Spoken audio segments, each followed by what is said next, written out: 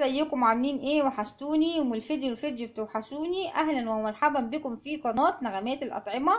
إن شاء الله هنعمل إيه؟ الجبنة ال- النستون بكل تفاصيلها. يلا بينا عشان ما أطولش عليكم. هقول لكم المقادير. عندي كوب هنا من اللبن فنجان من الدقيق خرطة جبنة قريش ما يعادل 8 كيلو 8 كيلو زبدة صفرة 3 قطع جبنة مثلثات آه، أي نوع انت تحبيه. جبنه نستون أي نوع أنت تحبيه.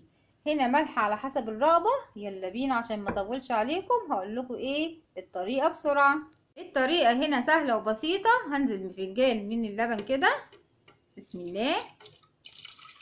بالراحة بس عشان مطبخك إيه. أهو. هنزل كده برشة من الملح. هنزل بالجبنة القريش. والجبنة النستون. بالزبدة. وكل المقادير كده بالراحة بس كده عشان إيه مفيش حاجة تطشش عليكي. أهو. بكل المقادير كده.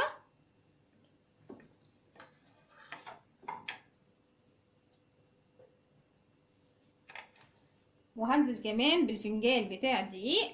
مفيش بقى أسهل من كده. هخليه بقى إيه يتخلط كويس خالص كده. بسم الله.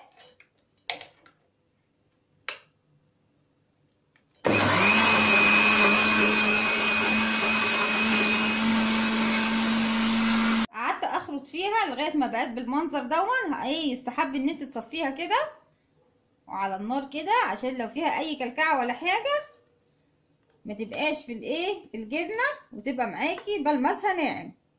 أنزل كده كل الكمية كده وعلى النار وطول ما أنت واقفة لازم تقلبي عشان إيه؟ ما تتكلكعش منك. هصفيها كويس خالص كده. هنزل بقى كل الكمية كده وأشغل النار عشان إيه؟ تستوي معايا عشان أنا حاطه لها دقيق. فلازم تستوي معايا عشان إيه الدقيق دي مادة رابطة. جربوها إن شاء الله هتعجبكم. ونفس الوقت إيه مغذية لأطفالنا. ولينا إحنا كمان. بدل ما تشتري إيه ما تشتري جبنة من بره والجبنه بقى إيه غالية. أنا رايحة أشتري ست قطع كانت ب 18 جنيه.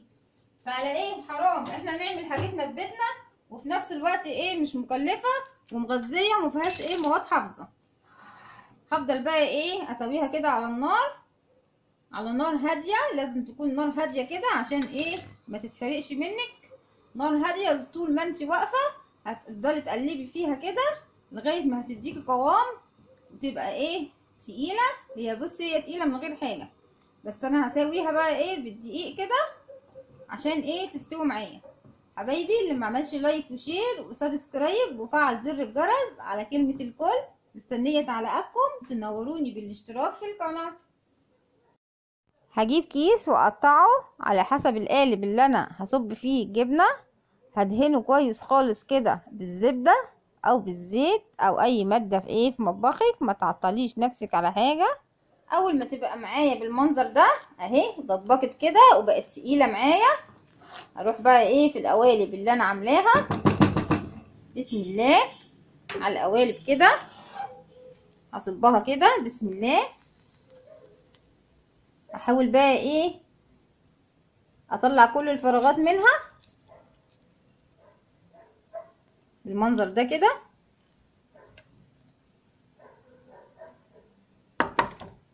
صبيتها في العلب بالمنظر دون وتحاولي بقى إيه تسوي كده الطروف تحاولي تسويها سوا تسويها كده. ما تخليش حتة إيه مكلكعة وحتة إيه مش مكلكعة. أهو. تسوي كده الوش. لو عمل معاكي كده مثلا هتعمليها كده هتمسكيها هتعمليها كده عشان إيه؟ تبقى سويه واحد وايه تطلعي منها كل الفراغات. هتغطي وشها كده بالكيس بتاع التلاجة. أهو عشان وشها ما ينشفش. وبعد كده هتسيبيها لما تبرد خالص وتحطيها في التلاجة. أهو. وادي شكل الجبنة لما نشفت حطيتها في التلاجة لمدة ربع ساعة كده. هن إيه؟ هنقطعها كده. بسم الله. زي ما قلت لكم حطوا كيس بلاستيك من فوق الوش عشان ما تنشفش. هنقلبها كده. بسم الله. هنشيلها كده بقى. بسم الله. هنشيل طبعا إحنا كنا حاطين في قاع العلبة كيس برضو عشان إيه؟ ما تلزقش معانا في العلبة. أهي بصوا طالعة بكل سهولة. هنقطع بقى كده حتة. بسم الله. هنحاول نعملها كده مثلث. أهي. تسحبي كده عشان إيه؟ ما تتقطعش منك. أهي. بسم الله. هي هتطلع بكل سهولة. شايفة بقى؟ المثلث طالع حتة واحدة إزاي؟ بسم الله ما شاء الله. يعني إيه؟ هتعمل لنا كمية كبيرة. المقادير اللي أنا قلت عليها هتعمل لنا كبيرة آه كمية كبيرة. هنقطع مثلث تاني كده أهو. بسم الله. تقطيع كده بوايم كده أهو. وتروح مقطعاها كده. أهي. بتطلع معايا بكل سهولة. شايفين الجمال؟ عملنا الجبنة النستو مع بعض. لو عجبتكم الحلقة ما تنسوش تعملوا like و share و subscribe. وتفعلوا زر الجرس على كلمة الكل. مستنية تعليقاتكم. تنوروني بالاشتراك في القناة. والسلام عليكم ورحمة الله.